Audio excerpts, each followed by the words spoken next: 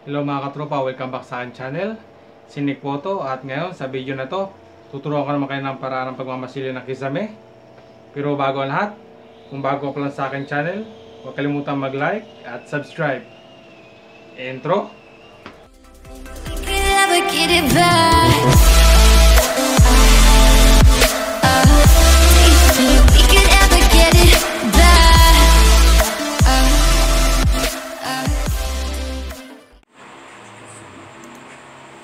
So, ito ang mga pangunahing materialis na kailanganin natin ngayong araw na to.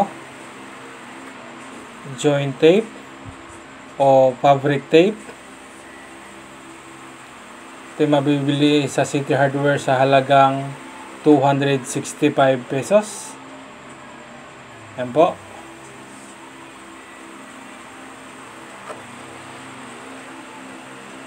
Tapos,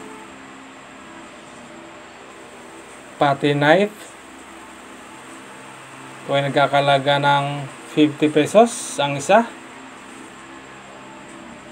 Tapos ang last, ang glazing pati. Yan po. Ito ay nagkakalaga ng 143 pesos. Isang litro.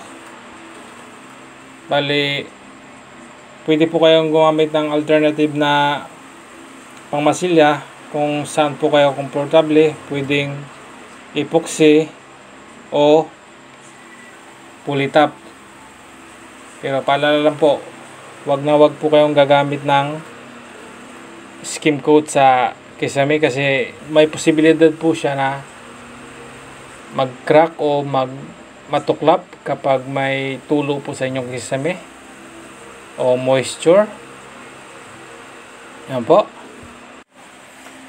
Okay, sa mga magtatanong kung bakit pa kailangan masilyahan yung kisame, ah, ang sagot ko po dyan, kailangan po masilyahan para po matakpan yung mga joint niya at saka yung mga pinagpakuan dahil po kapag hindi nyo po minasilyahan yan, magmamantsa po yung pinagpakuan o yung pako.